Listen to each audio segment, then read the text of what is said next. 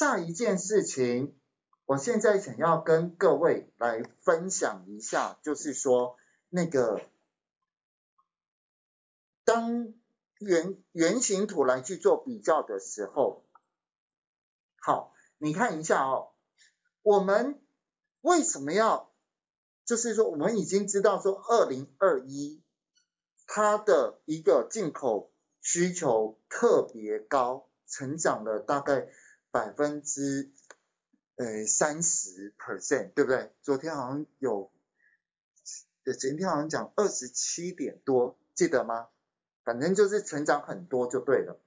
那那到底是哪一个国家是成长还是那个衰退？这是我们希望知道的事情。好，所以我们画了圆形图。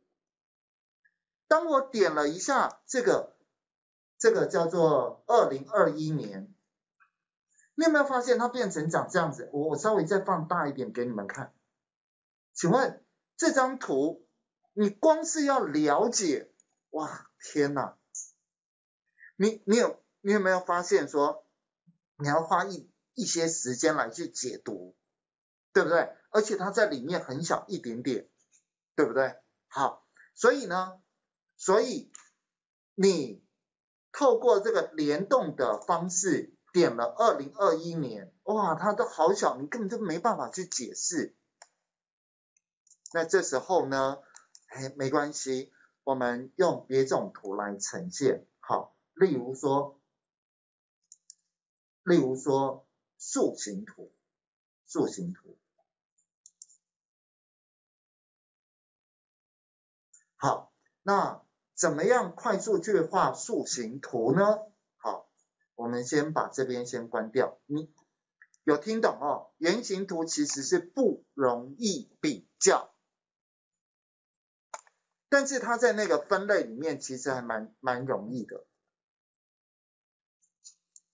所以呢，如何快速产生树形图？那我们就直接把这张图复制。贴上可以吗？复制贴上，我想这应该没有问题。相同的，相同的一个内容，我改视觉效果，就是复制贴上，我想没问题了。然后主要是要介绍这个树形图，就是选取到这一张图，然后改成树形图。